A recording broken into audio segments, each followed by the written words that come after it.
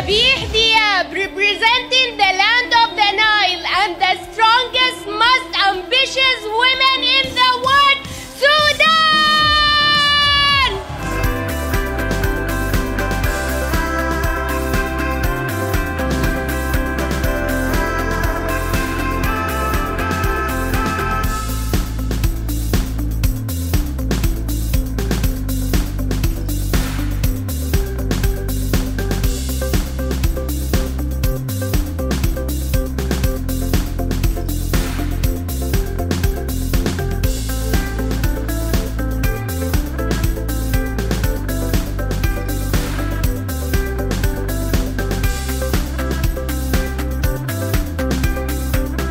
country going through a war since eight months,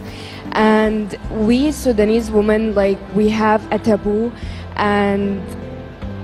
having the chance to break that taboo and being here for the first time representing every single Sudanese woman make me feel super proud. And I just want to tell them be strong and everything will be fine and Sudan will get back